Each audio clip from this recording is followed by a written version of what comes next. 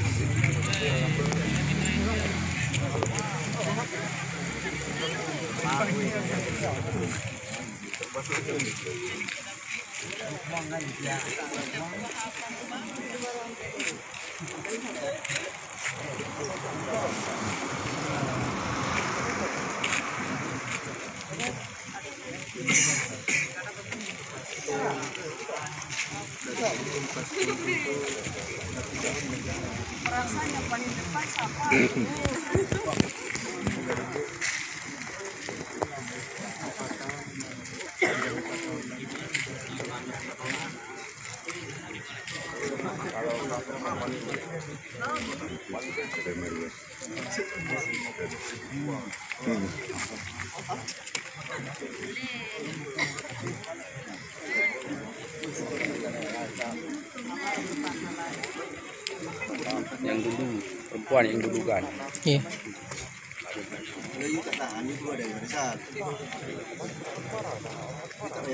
dia tak pada depan-depan nanti disuruh di belakang. Takut orang belakang dulu. Duluan bila jauh dari sini ya dapat dapat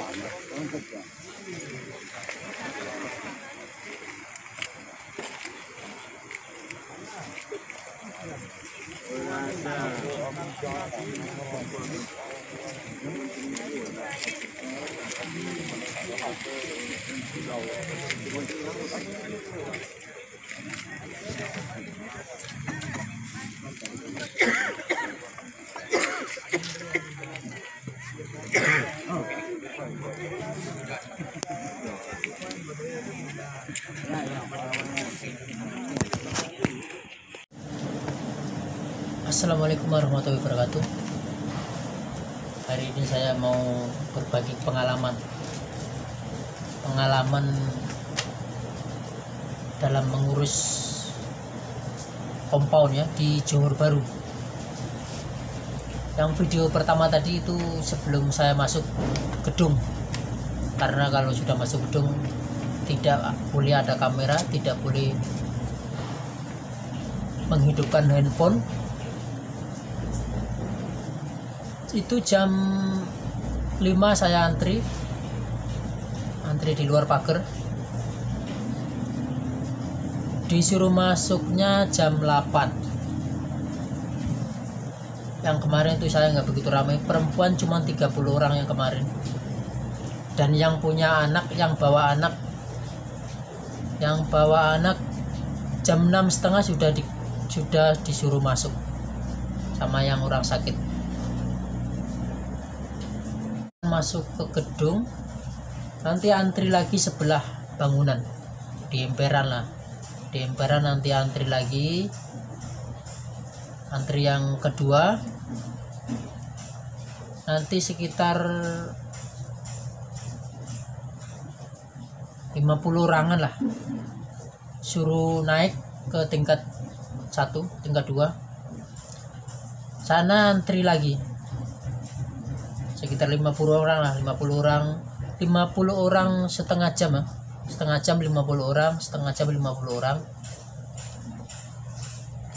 Ngantri lagi di tingkat 2 untuk menyerahkan paspor sama tiket. Dan di fotokopi ya fotokopi satu-satu cukup lah untuk yang mau ngurus di Johor waktunya empat hari sebelum tiket penerbangan. Baru boleh mengurus. Kalau yang kurang lima hari enam hari tujuh hari tidak boleh. Disuruh balik lagi kurang dari empat hari. Dan yang kalau sudah ngantri di tingkat dua untuk menyerahkan ini ya menyerahkan paspor sama tiket tadi. Kalau sudah serahkan kita duduk lesehan semua. Untuk yang Indonesia Indonesia semua dibikin empat baris. Empat barisan. Nggak panjang lah panjang satu barisan mungkin ya. Empat lima meteran lah. 5 meter 5 meter 5 meter empat barisan. Masing-masing bukan campur. Sini Indonesia sini Bangladesh Pakistan gitu kan dipisah-pisah. Menunggu panggilan untuk wawancara sedikit lah. Ditanya kapan masuknya saya sih ditanya kapan masuknya. Terus habis itu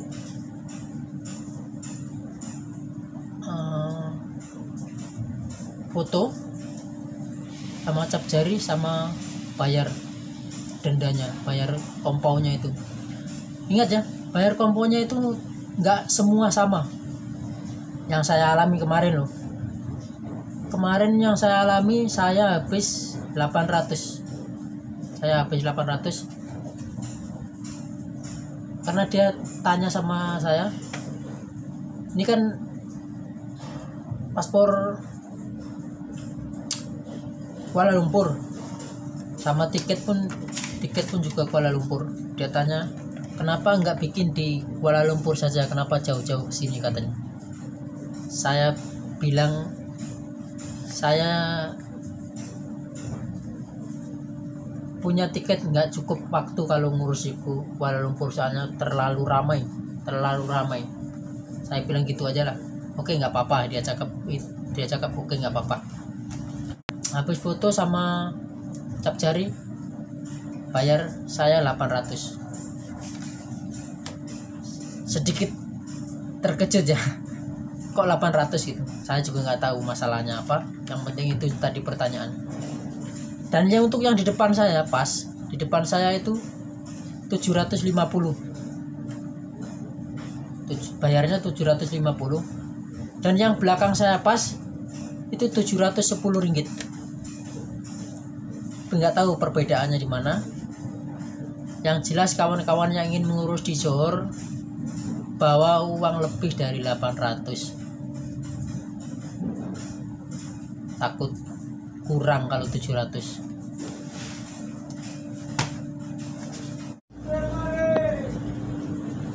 Oke untuk teman-teman yang satu lagi lupa tadi. Untuk teman-teman yang punya dua paspor yang dua paspor ya kadang yang satu paspor yang satu SPLP tolong dibawa dua-duanya nanti. Kalau nggak dibawa nanti disuruh ambil pulang lagi. Itu. Kalau yang ada dua paspor dibawa dua-duanya. Kalau yang SPLP saja cukup lah. Dan jam 7 saya sudah ngambil paspor saya kembali. Dan dikasih ini berkas tiga lembar. Apa namanya saya pun nggak tahu lah yang penting kalau sudah ada ini sudah sudah ada cop ini sudah boleh pulang. Nih. Memo apa ada tulisan memo lah pokoknya. Memo periksa keluar. Ada tiga yang ini kecil ini nggak tahu apa ini ada empat empat kecil satu.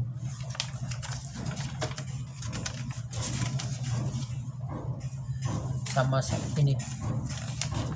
Yang nomor tiga ini spesial pas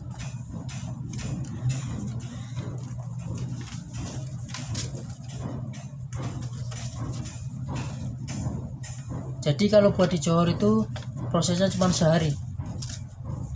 Cuman kita ya harus menunggu jam 8 pagi saya beres semuanya jam 7 malam. Semuanya sudah beres. Dan alhamdulillah sebentar lagi saya mudik ke pulang kampung ke Indonesia. Ingat ya kawan-kawan teman-teman semua jangan menyalakan handphone kalau sudah masuk gedung.